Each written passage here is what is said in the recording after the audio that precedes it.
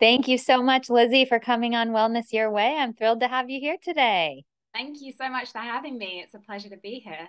Of course. You share so much wonderful information on your social media, which we'll talk about, I'm sure, as we go through this. I already feel inspired based on my brushing up on you before we started recording. So thank you for all the good information you're sharing.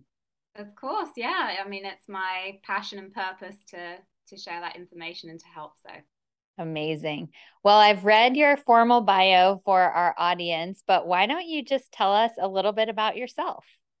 Yeah, so um, I'm Lizzy. I am a nutrition wellness coach and uh, author, and I empower women to empower themselves to confidently step into the body that they love using a combination of nutrition, movement, and mindset.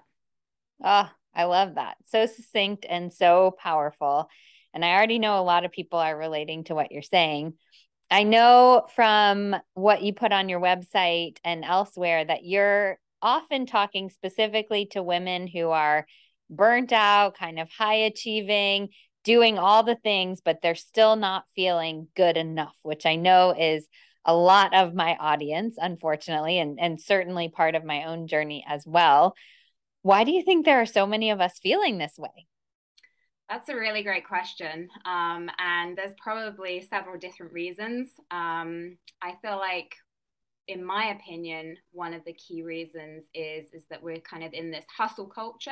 Yeah. Um, that really um, uh, awards working hard yes. and achievement and um, kind of encourage us to seek external validation as opposed yes. to getting our validation internally.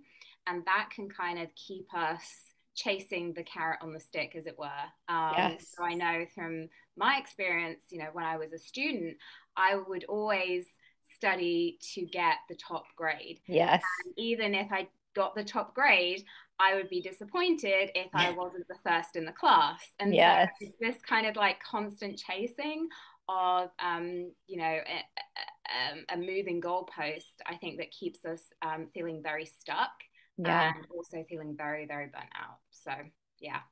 Absolutely agree. And I, I think about how tough it is to raise children these days or to be a teacher, to be in any of these influential roles where we realize that praising achievement is not always the best. I look back at my own history and my parents were very well meaning in praising my achievement and my teachers and everyone else who pra- praised achievement. But I think in doing that, we learn exactly what you said that we're good because we achieve. You're good because you were the top of the class or whatever and we forget that we're good just because we are who we are. That's a really hard lesson for us to learn at this point for many of us. Absolutely. Yeah. And I feel like, um, you know, as babies, babies don't ever judge themselves for what yeah. they are and aren't achieving. And so for a lot of my clients, they kind of believe that this is, you know, something that um, has to always be the way and that they've always been like that. And whilst it might feel like yeah. like that as a newborn you weren't like that. And so they it's weren't. not a matter of like achieving anything or you know starting something new. It's a matter of reclaiming that sense of internal self-worth right?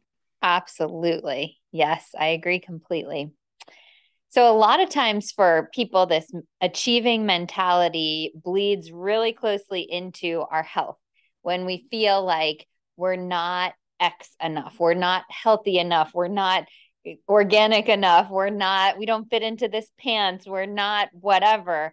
Um, doing enough skincare strategies. There are a million different ways that we can tell ourselves we're not enough related to health specifically.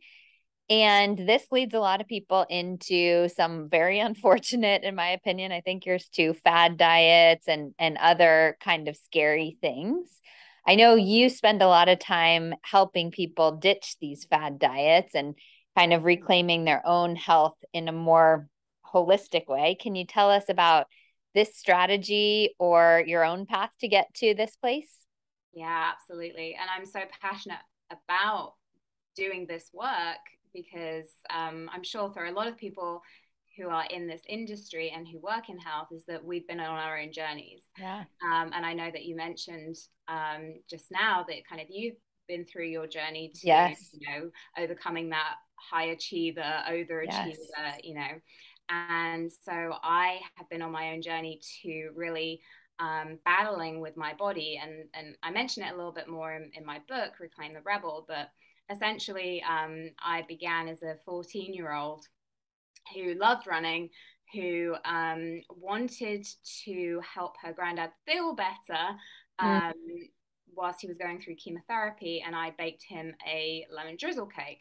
And so at the time, I thought I was, you know, um, being good and, you know, doing something that kind of um, made someone else feel good. I was um, also, you know, a very high achiever in school. As I mentioned, I ran. And then a couple of days later, my granddad passed away from a heart attack. Oh, wow. I'm sorry. Oh, no, I, I appreciate it. And it's, it's kind of a little bit of the bittersweet ending to the story because it was his death that made me really question my decisions over food. And I thought somehow I'd killed my granddad with this cake. Oh. And I was like, oh my goodness, I need to learn how to be healthy because I'm mm. not being healthy enough. Right? That story of mm-hmm. And so I looked to um, magazines. At the time, there wasn't really social media, but I got some really bad advice and really um, went into a um, a negative relationship with my food and my body and ended up suffering for 10 years from anorexia. Wow. And it was through this journey, though, that I discovered the tools that I now use to help my clients so that they don't get to that place that I got to, hmm. um, mm. at least to the extreme um, lengths that sort of maybe I pushed my body to. Um, and so I'm really passionate about making sure that women nurture their bodies in a way that is very balanced and very aligned to self love. And I think self love is something that maybe we roll our eyes at or it's an Instagram hashtag. But essentially, self love, I think, is a it's a vibration, it's an energy that we can be in um, that is kind of like a compass to how we're treating ourselves. So um, you know, that's kind of like my journey and my um, experience of finding the tools to help me feel in alignment to that energy. Um, so, yeah. Thank you so much for sharing that. It takes a lot of courage and a lot of vulnerability. And my heart breaks for that sweet 14 year old Lizzy who baked the cake out of ultimate compassion and then felt really guilty about it. So I, I hate it honestly to hear from so many people myself included and you included who had to go through these lows in order to uh, be able to do our work. But goodness how you've twisted it for the better. You said it's bittersweet uh, and it, it sounds like a bittersweet story. Now you're able to do this amazing work and help so many people so i'm grateful for that. Um, i'm i am rolling my own eyes at asking this question, but I'm going to try to ask it anyway. You went through a 10 year journey of healing yourself. Can you name just some of the things? I won't even say the top things, but some of the things that helped you embrace self love throughout that 10 year journey, even when you were kind of in a place of self questioning or maybe even self loathing? Yeah, absolutely. That's such a good question. And I think, you know, really what came to mind immediately was having support. Yeah. Because I feel like when we're going through some of these really um, sort of deep emotions and self-loathing, self-abusive thoughts, behaviors, um, it can feel very isolating. Yeah. And um, some of us, high achievers, um, want to do it on our own. Yeah. And so it takes a lot of courage um, and vulnerability to reach out and say, I'm struggling, I need help but it's so essential yes. to helping us through that journey because only we can do it. Only we can kind of like go through this whole process and apply the tools and uh, and, and make that um, make that journey. Yeah. but having someone cheering us along and um, you know sharing that load that we're carrying can be such a game changer so um, i call it having a cheer squad a support network whatever you want to call it i think that's really really essential i love that i i kind of chuckle at myself sometimes at ending up in this career path because i am the ultimate do it alone person i I was always the person in school and college and everything who hated group projects. Like, I like to do it by myself. I like to be responsible. Yep. For those who can't see us, Lizzy's raising her hand as well. And it only took going through those lows to realize that we do need support. We do need a coach. We do need whatever form of support is right for the person. And now, thankfully, I can admit that and, and obviously make it my career. But it would have blown my mind at 15 years old or however old to tell me that I was in the coaching industry, which didn't even exist really back then. But even if it did, I, I don't think I would have believed it. Yeah, and I think you know there are different forms of support that we can get. So you know some some of us thrive really well in small group settings. Some of us thrive you know in big groups, and so I think you know finding the cheer squad or the form of support that works well for you is also a really beautiful learning experience because yes. can, it's like going to an ice cream shop and kind of trying all the different flavors. There's different yes. ways of getting support, right? Absolutely. I love it. One of the things that caught my eye, which I believe you highlight in your book as well, are the 12 rebellious acts to unconditional love for your body. I love this. I don't really identify as a rebellious person, but I think there's a rebellious nature inside of every single one of us, even those high achieving rule followers. So, can you share one of these 12 rebellious acts with us? Yeah, of course. So, um, as you say, like I just love the idea of being able to rebel. Everyone's kind of like, oh, this is kind of naughty. I want to. Yeah. Rebel. And so, um, one of the rebellious acts that I really love and that's really important to me is letting go of comparison. Mm. Um, because again, as high achievers, we can probably relate to the idea of comparing ourselves to others in order to know where we stand, in order yes. to know that we are achieving, um, that we are the best, or that we're, you know, doing well. Right. And so that can kind of like lead us into the spiral of not feeling good enough. Right. Um, so by letting go of comparison, what we're actually doing is that we're all acknowledging that we're very different and very unique. Yeah.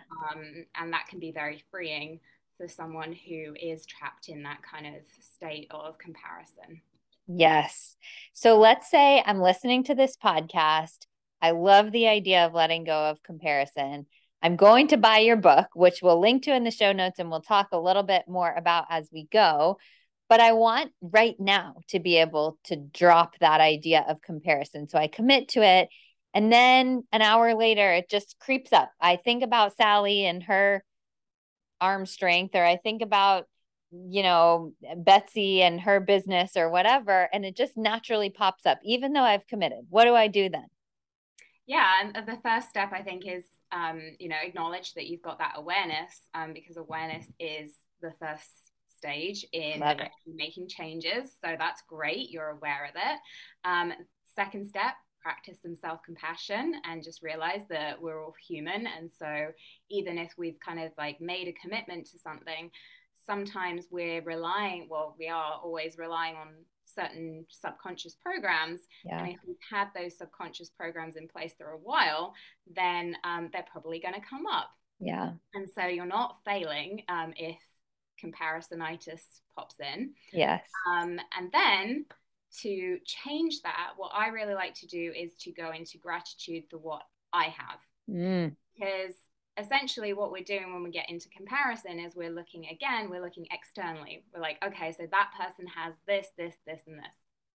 Whereas gratitude brings us back to what we have yeah. and um, kind of like is a way of again internally validating ourselves and realizing you know all of the amazing stuff that we have going for ourselves and so whatever we're comparing ourselves um, to somebody else about we can kind of bring it back to ourselves and go well you know um, in my business i'm serving clients from a place of love and i'm able to do this and you know you can kind of find a lot of things to be grateful for once you start with something small and then just kind of keep going. So that would be the process that i would recommend. And then just I, practicing. Yes i love that. So it's awareness and and recognizing that it's great that you were able to identify that. Give mm-hmm. yourself some compassion and then practice gratitude.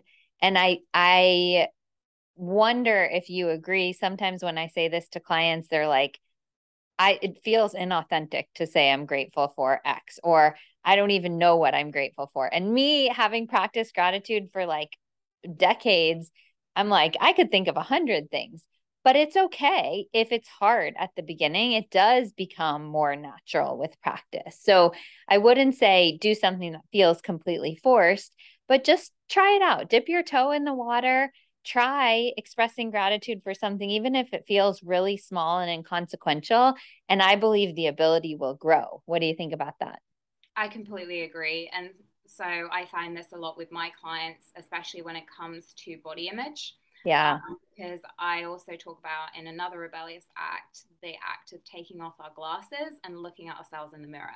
Uh-huh. And I walk clients through an exercise where they look at themselves in a mir- in the mirror and look at body parts and reframe how they're talking to their body. And so it's it's very similar to gratitude. I don't um, recommend having a story about your body or a story about what you're grateful for that feels super inauthentic and forced. But there might be some sort of discomfort at the start. And the place to work from is something that does feel aligned and that we can believe and that does make us feel good. Um, and once we kind of get started, then that's when we kind of push the comfort zone out and out and out. So, yeah, it is a process for sure. I love this taking off your glasses and learning to love and and at least respect at the beginning your body i think so many people in our industry will be on the polar opposite like just don't even ever look at your body. Your your body's not important. You don't even have to think about your body. And i don't want it to be the most important thing ever. I want our our soul our personality our relationships all of that obviously to be more important. But the fact is we're going to live with our body every single day that we're on this planet in this lifetime. And it really does serve us to learn to build some compassion and respect and love for our actual physical body in its current state. So I think your exercise would be really challenging for a lot of people, but I think it is so worth it. Can you you described the exercise really well already, but could you reiterate it for anyone listening? Yeah, absolutely. And this is not something that I have made up personally. It's from Louise Hay. Um, she is the godmother of self love, but it's essentially a mirror exercise where you stand in front of the mirror and you look at your body for a slightly uncomfortable amount of time. We talk about that mild discomfort yep. and reframe the negative stories that we're telling ourselves into something more positive. And again, this isn't that toxic body positivity where you're just like, oh my goodness, I love every single part of myself. And right. It feels super inauthentic and fake. If it feels authentic to say, I absolutely love every part of me, great. great. But there are a lot of us that's not realistic, especially after years of these self abusive thoughts. Right. so really, it's about finding something that does feel aligned. So I'll give you an example. I have a huge scar across my stomach from when I had um, an operation as a baby. And as a teenager, especially, I hated that scar. Mm. I um, was so self conscious, wouldn't wear a bikini. Um, and so when I started doing this exercise, I would say to myself, I am so grateful for my survival scar. Yes. It's my um, sign of how strong my body is, as opposed to, oh my goodness, it's such a beautiful thing, um, because it just felt a lot more realistic.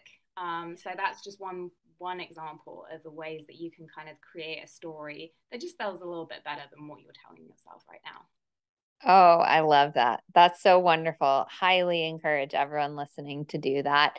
And like Lizzy said, just take the next step towards something that feels more authentic. I my example is if people say, "Oh, my my calves are so big" or something like that, I'll say, well, look at how strong your legs are and how they've carried you through every step of your life and how how they allow you to do all these things through the day. So there is always a, a next step. I I thank you for sharing that example. That's great. Cool. So you are already talking about taming that negative voice inside of our heads through a couple of your rebellious acts of self-care. But let's talk a little bit more about that pervasive negative voice that so many of us have. Do you have another strategy or thought uh, to help people tame that negative voice? Yeah. So the inner mean girl, as I like to call her, um, she can get very loud um, and she can be very persistent. And so, again, I think it all goes back to first of all being aware of her yeah. and when she comes up. And then, really, I like to use the analogy of um, like picking clothes out of your closet. You know, you've got all of these thoughts, just like you have, you know, your clothes lined up for the day. And you can pick from your closet whatever thought that best suits you that day.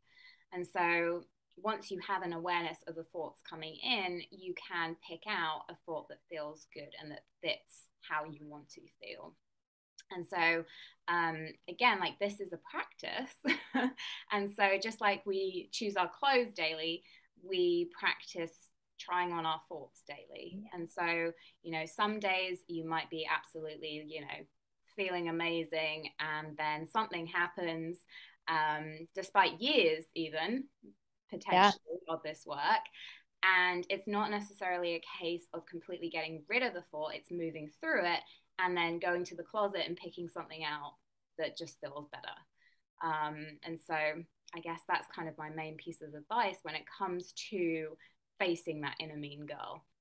I love that analogy. It's one I've never used before, but it's so representative. Some days I just go to my closet, I know exactly what I want to wear. I put it on, I don't think twice about it. It's natural. And then we all have those days when we go to our closet and we try on like four things and it feels like it none of them are the right ones, but we have to keep trying and keep trying. And that's a great analogy for our thoughts. Sometimes it's not natural. Sometimes we got to try on four or five or 10 or 20 different thoughts before we end up with the one that feels most comfortable to us. And that's okay. We can go through the practice of recycling and choosing and dropping, even though it feels challenging at times. Uh, it's worth it. I love that. That's great. Yeah.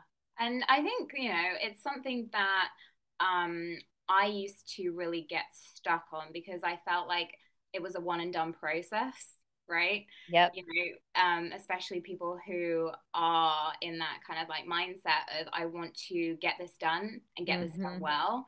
You know, you it's not a linear journey. So, you know, on those days where it is a little bit up and down, I think that analogy kind of made me feel um, it, it gave me permission to be more self compassionate.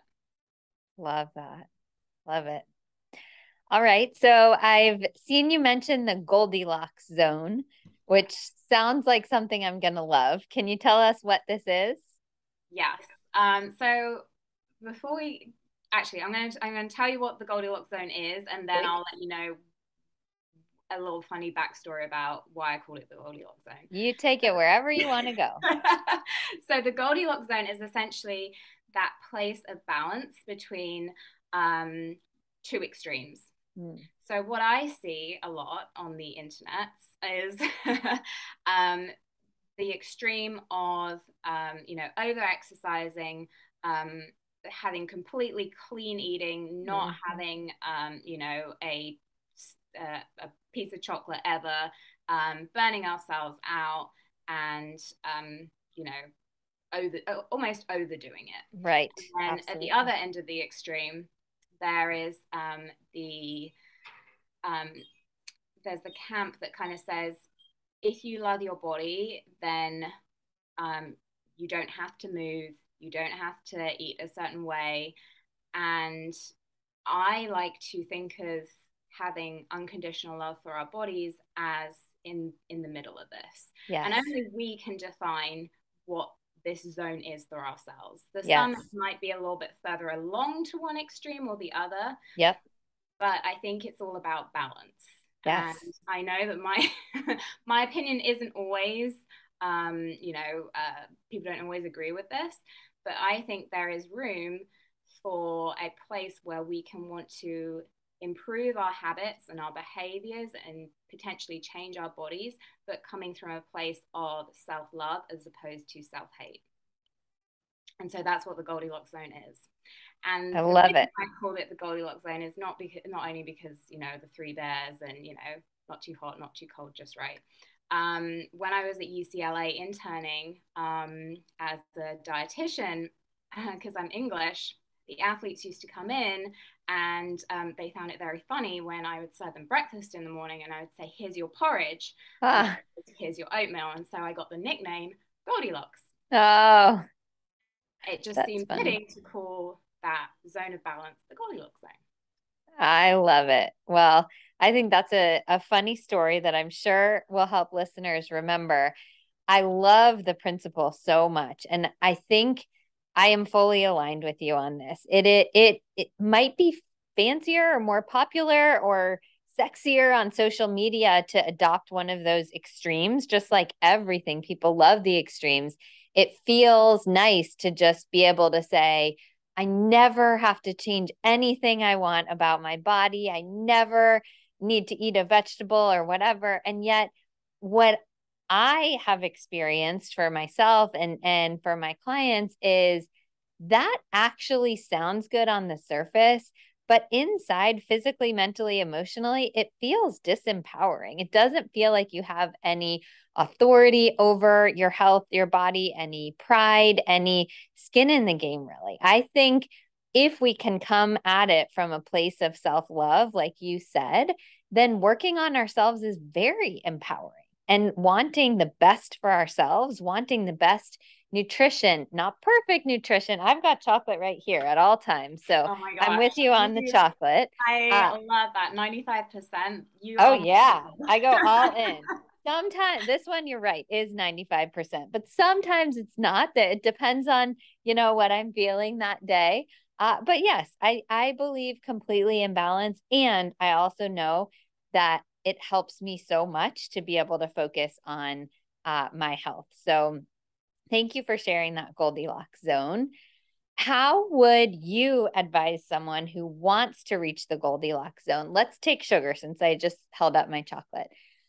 They hear us say, okay, some chocolate is fine. Yay, that's great news. Lizzy and Megan say some chocolate is fine.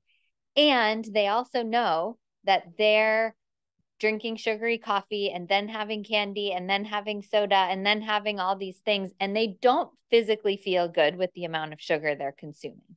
How do they start to find that goldilocks zone? Great question. And so it will vary depending on what the i think what the topic or the item is.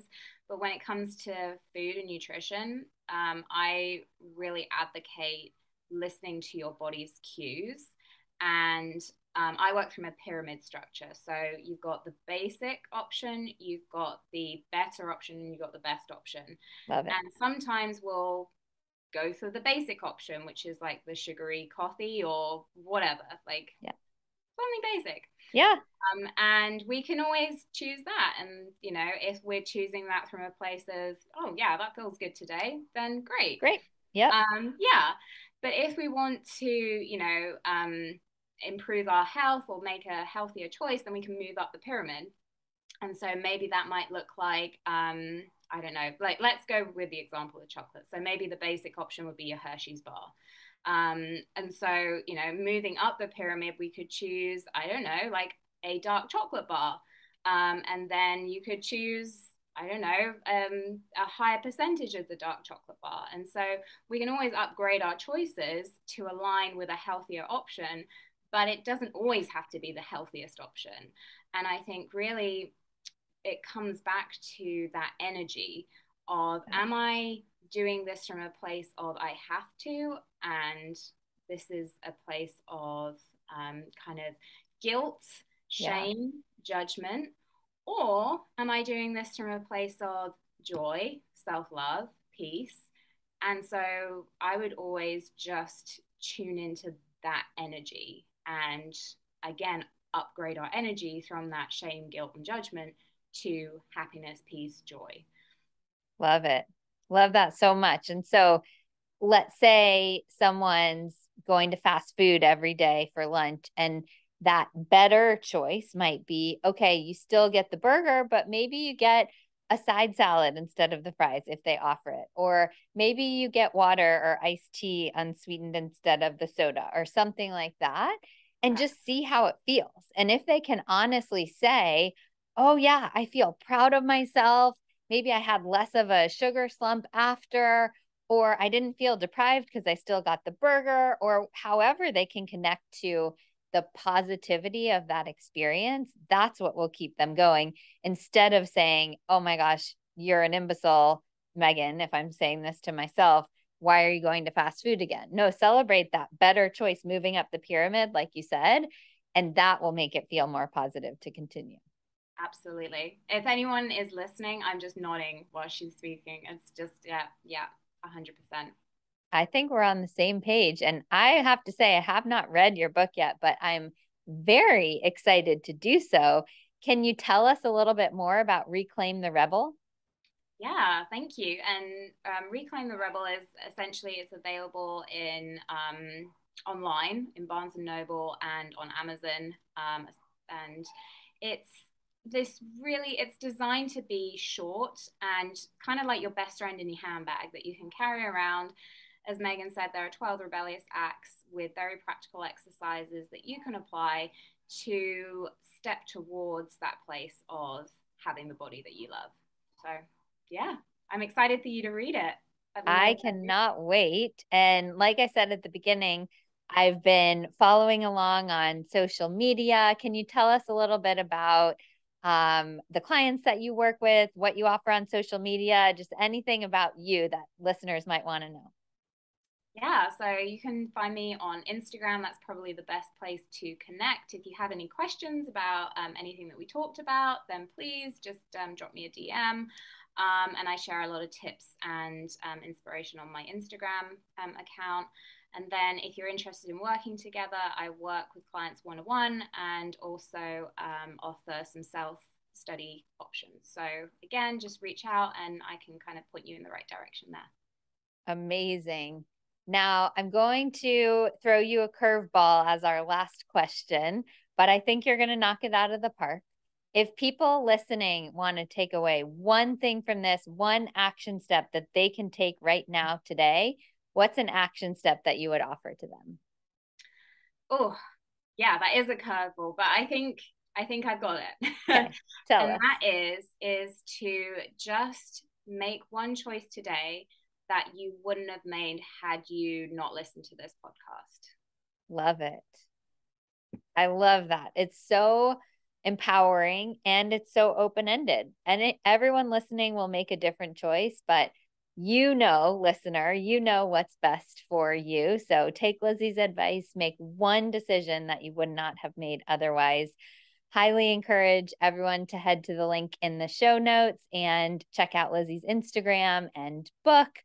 Um, and Lizzy, I really appreciate you being here. Thank you so much. Of course, it's my pleasure. Thank you.